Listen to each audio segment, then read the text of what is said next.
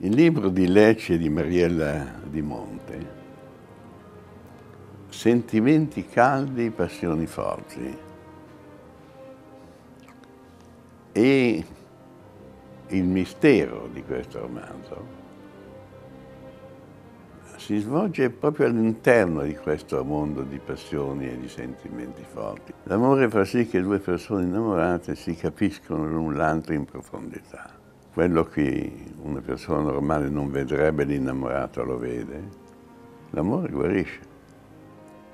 Ma c'è uno che invece pensa in modo diverso e lui, e lui trova la strada. Non sarà la passione, non sarà l'amore, è è un altro meccanismo che lui svela e ne fa un bellissimo giallo.